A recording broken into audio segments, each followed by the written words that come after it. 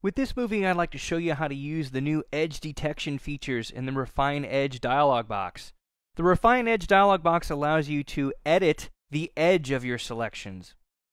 So let's take a look at how this works. What I have here visible on my screen is the featherwoman.jpg image. This is available in your assets, so you can play along with me if you like. And what I want to do is I want to make a selection of this woman. I want to actually extract her from this smoky, cloudy background so I can use her either in a different composite image or possibly just create a transparent PSD of her image in order to place her in maybe an InDesign layout, something like that.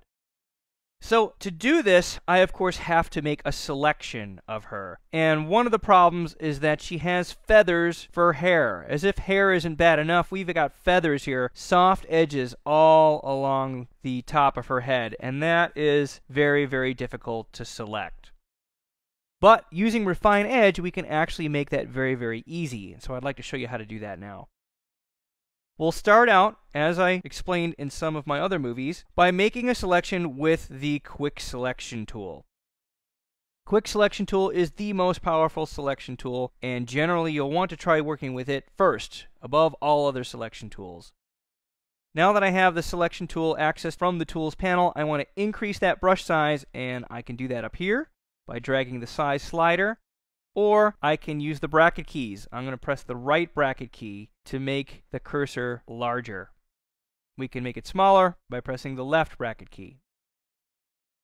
Okay, so we'll click and drag over her image very loosely. I don't expect the area of feathers to be a precise selection because that's where Refine Edge is going to save the day. Okay, so we've got a pretty decent selection. We can try and add a little bit more with the tool if we want. It's not going to be perfect, and we don't expect it to, because Quick Selection Tool is not meant to handle these types of selections precisely. Okay, that's about as good as we're going to get. What I'd like to do now is click on this Refine Edge button up here in the Options panel. Click on that, and that brings up the Refine Edge dialog box. All right, let's zoom in some on the image. I'm going to press Command plus a couple of times and then hold down the space bar. Temporarily access the hand tool, click, and drag in order to position her next to this dialog box so we can see what's happening. What we want to do here is we first want to increase the radius. That's the area of transition between the hair and the background. All right, so we'll drag that up to the right a little bit. And we want to turn on this feature here in the edge detection area called Smart Radius. All right, that's going to help us control these soft edges. All right, I'm currently viewing this on a white background. You can change that if you want. There's all kinds of other different options. On black, black and white, on layers, if you have another layer already in the image that you want to see this over, which we don't.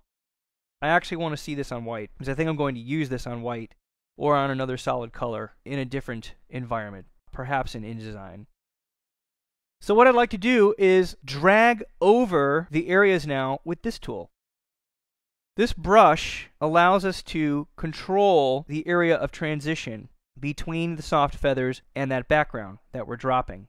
Okay, so if I increase the brush size again, right bracket key, and draw over that area, revealing more of those feathers, it's basically telling Photoshop that that background color is what we're trying to drop. And it will recognize the image area that we want to keep and drop the background color that we do not want to keep. Okay, we can do all that. Oops, went a little bit too far. It's okay, we can always decrease that by pressing Option or Alt, clicking in that area. That's better. We can go over here don't need a whole lot over in this area. That actually looks pretty good. Decrease that brush size. And just up here is what we want. That's looking pretty good. Alright, now we can increase the radius in order to soften and add a little bit more area. That's looking really good. Now, considering that this is a background that's predominantly white and gray, it's not adding much color that's reflecting in the feathers. If it were pink or blue or something like that, we would see those colors inside of the uh, feathered area in here, and we would want to get rid of that color. And that's where decontaminate colors comes in. You would turn that on, and then drag the slider up as far as you need to in order to drop that color. We're not seeing a lot of color in here, so you don't necessarily have to turn that on in this particular instance. Okay, so this is looking pretty good. We now have our output options. We can output to a new layer with layer mask, or we can output to a new layer entirely, or just a layer mask, or a whole new document, or a new document with layer mask. And I think I'm going to choose new document and click OK. And there's my document. I now have my transparent PSD that I can save as a PSD and then place into InDesign over a different background. It's just as easy as that. It's amazing that you can do this using this tool. Let's zoom in some. We'll take a look at that. You can see there are the feathers. Very, very nice. Looking really, really good.